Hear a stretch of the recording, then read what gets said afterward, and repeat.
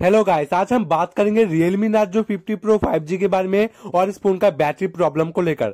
Guys मैंने जब से फ़ोन का सॉफ्टवेयर अपडेट किया है, तब से फ़ोन का बैटरी प्रॉब्लम जल्दी से जल्दी खत्म हो जाता है। बैटरी एकदम खत्म ही हो जाता है। तो गाइस वीडियो को एंड तक देखिए। आपका भी ऐसा ही हो रहा है। बैटरी जल्दी से जल्दी खत्म हो जाता है। तो मैं गाइस कुछ मैं स्टेप्स बताऊँगा। आप फॉलो करते हो तो फिर आपका बैटरी काफ़ी इंप्रूवमेंट हो जाएगी। मतलब तीन से चार घंटे एक्स्ट्रा चलेंगे आपका बैटरी तो फिर गाइस सबसे पहले आपका जो फ़ोन के अंदर जितने भी आपके अंदर नोटिफिकेशन होते हैं मतलब ब्लूटूथ वाईफाई और लोकेशन आप यूज़ नहीं करते हो करंटली तब सिर्फ़ ऑन ही रख देते हो, ऐसे छोड़ देते हो ऑन रख के। तो भी गाइस इससे आपका बैटरी काफ़ी ड्रेन होता है। तो फिर अभी करंटली आप जितनी भी मतलब कोई भी, जैसे ऑन नहीं रहते हो, जैसे हॉटस्पॉट वगैरह वाईफाई वगैरह आप अभी यूज़ नहीं कर रहे हो, तब इसको सब कुछ बंद रख सकते हो। जैसे आपने नेक बैंड यूज़ किया है मतलब ब्लूटूथ स्पीकर वगैरह यूज़ किया है, ब्लूटूथ आपने ऑन ही रख के छोड़ दिया तो फिर गाइस आपका ब्लूटूथ जो सॉफ्टवेयर है, वो आप ऑफ़ कर दीजिए। इससे आपका बैटरी काफ़ी इंप्रूवमेंट होगी। तो फिर गाइस नेक्स्ट सेटिंग है गाइस आपको सेटिंग में ओपन करना है। फ़ोन का सेटिंग में आपका ओपन कर जाना है और सॉफ्टवेयर अपडेट जहाँ से आपका फ़ोन का सॉफ्टवेयर अपडेट करते हो गाइस इस सेक्शन में आपको ओपन करना है वो भी मोबाइल डाटा ऑन करके।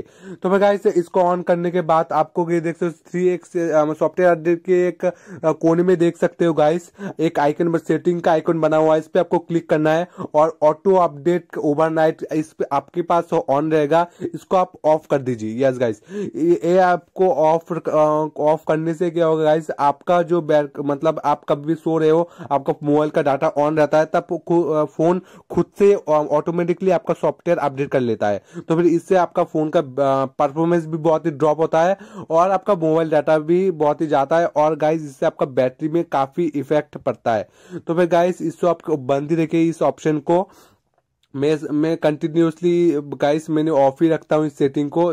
तब से मैं मुझे देख सकते हो, आपको फ़ोन के अंदर और एक सेटिंग ढूंढना है गाइस बैटरी सेटिंग तो फिर गाइस बैटरी सेटिंग ढूंढना है आपको और आपको मतलब आप स्क्रॉल करते रहना है आपको, ये आपको कभी मतलब कोई भी ऑप्शन आपको नहीं मिलता है ना गाइस तो फिर आपको, मैं आपको सर्च बार आपको देख सकते हो सेटिंग के अंदर आपको सर्च बार का ऑप्शन मिलता है। आप सर्च कर सकते हो, आपको जो भी सेटिंग्स आपको चाहिए होता है करंटली आपको नहीं मिलता है तो फिर आप यहाँ पे सर्च भी कर सकते हो।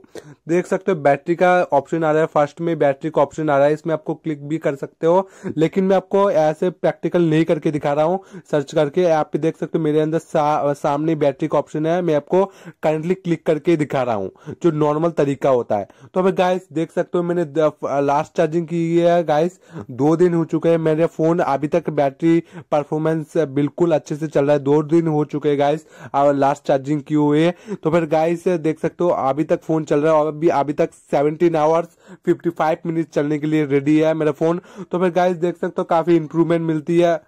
गाइस तो फिर आपको जो नेक्स्ट ऑप्शन ऑन करना होगा power saving mode power saving mode आपको ऑन करने से और एक्सटेंड हो जाता है आपका बैटरी तो फिर गाइस और एक ऑन कर दीजिए गाइस और आपको सुपर पावर सेविंग मोड को आपको बिल्कुल भी ऑन नहीं करना है. फिर आपको सेव पावर में आपको क्लिक करना होगा. आपके जितने भी बैकग्राउंड में आपको मतलब एप्स वगैरह रन करते होंगे मतलब बैटरी भी काफ़ी काइंडली यूज़ करता होगा मतलब आपका काइंडली बैटरी को कंज्यूम करता होगा. तो फिर ज़ीरो में आपको शो करेगा कितनी एप्स काइंडली मतलब यूज़ कर रहे हैं आपका बैटरी तो फिर गाइस इसमें आप मोस्ट सेटिंग देख सकते होंगे। फॉर देख सकते हो सभी मेरा बंद है और टर्न ऑफ़ जीपीएस वगैरह सब कुछ बंद है। आप यहाँ पे परफॉर्मेंस मोड मिल जाता है। एक सबसे बड़ी बात, आपको यहाँ पे स्मार्ट परफॉर्मेंस मोड ही ऑन रखना होगा। आप नो परफॉर्मेंस मोड को मत ऑन रखिए। इसमें बैटरी तो ज़रूर इंप्रूव होगी, लेकिन आपका परफॉर्मेंस नहीं। तो फिर गाइस आप नो परफॉर्मेंस मोड में जब भी आपको परफॉर्मेंस की ज़रूरत होगी, जब भी आपको स्पीड की ज़रूरत होगी ऐप पे आपको फ़ोन बहुत ही स्लो काम करेगा, इसलिए स्मार्ट परफॉर्मेंस मोड को ही ऑन रखिए।